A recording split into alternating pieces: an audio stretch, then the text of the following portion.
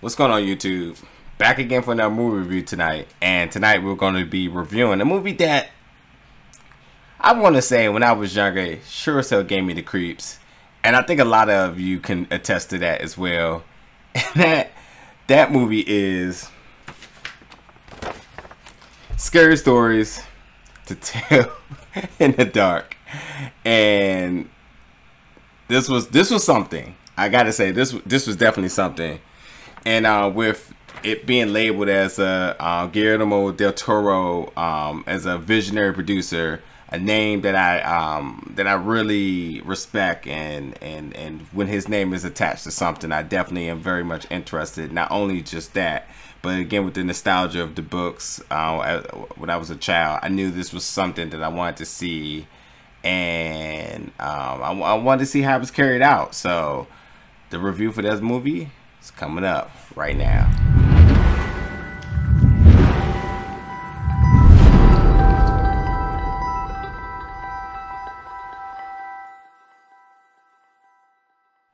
All right, so this movie takes place in 1969 in uh, in Pennsylvania, in um, Mill Valley, Pennsylvania, where we see a group of high school kids. Um, we technically start off following three, but eventually becomes four, and it's Halloween.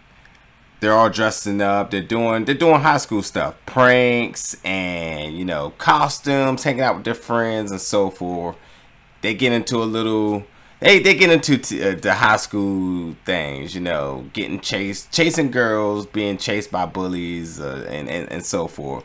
So the movie really progresses from just Halloween tack, this Halloween stuff, to driving movie theaters, to actually doing you know what most teenagers do. Let's let's find something else we can explore, which where they eventually end up in a haunted house. And in this haunted house, there's a story. There's there's an urban legend with this haunted house that is uh, very important to the small town. And this haunted house is synonymous with um, a little girl named Sarah Bellows. And Sarah Bellows was um, she was really labeled by her family as troubled and um, labeled with having um, a personality disorder and that her family pretty much exiled her. They exiled her from the family existence. I mean, pictures, everything. They completely exiled her.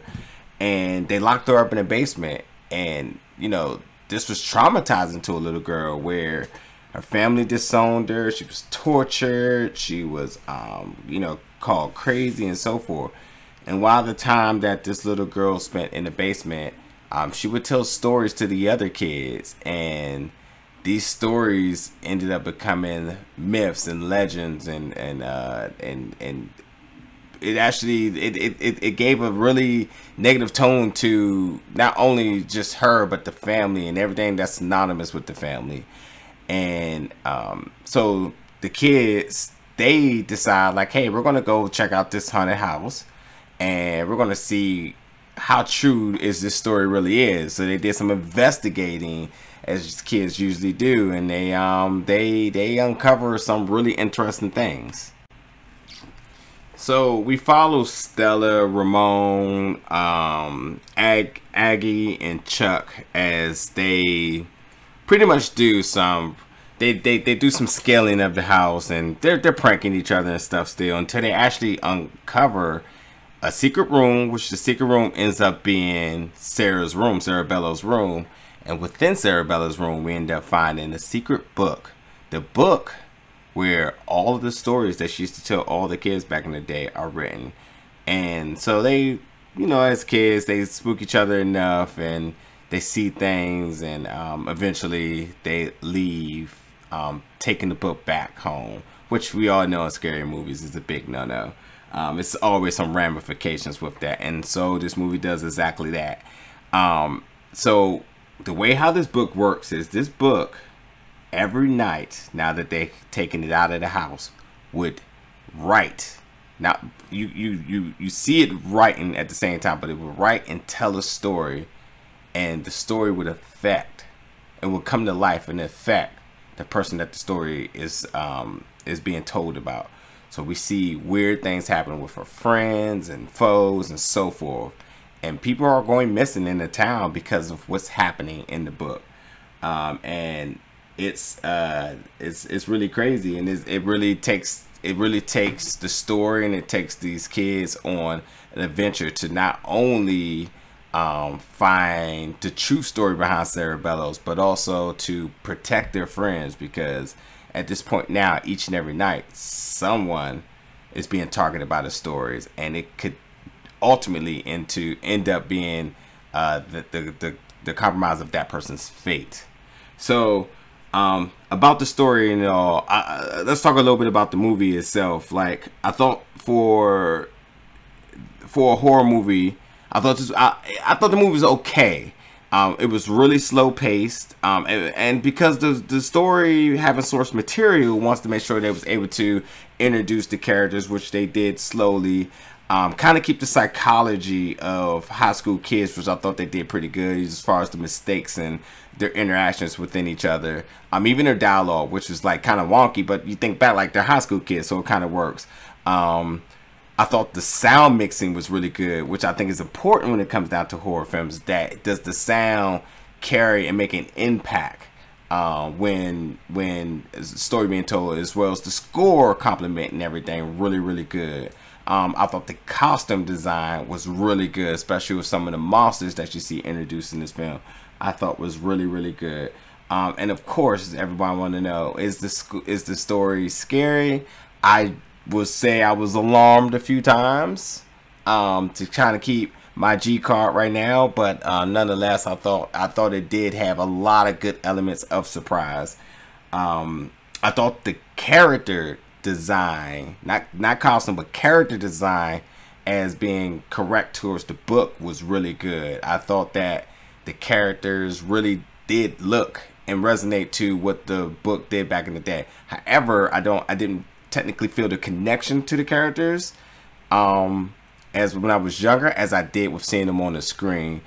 Uh, but as far as the acting with with everybody, I thought it was pretty good. Dean Norris is in this movie, and Dean Norris is just um, he he's Stella's dad, and Dean Norris is one of my favorite guys, especially his work on Daredevil was the Kingpin, which we didn't get a lot of. So if you're looking at the casting, you didn't get a lot of him because that's the important things. Because the relationship between him and his daughter, you can see being really brought to life towards the end of this movie, as we know this book uh, we know by the books that this movie will have a sequel. So, um, yeah, not a lot of him, which I was a little bit disappointed in because, again, but um, um, yeah, you do see a lot of what's as as you can tell the stories focusing what's going to be next as a sequel is definitely going to be uh, coming about.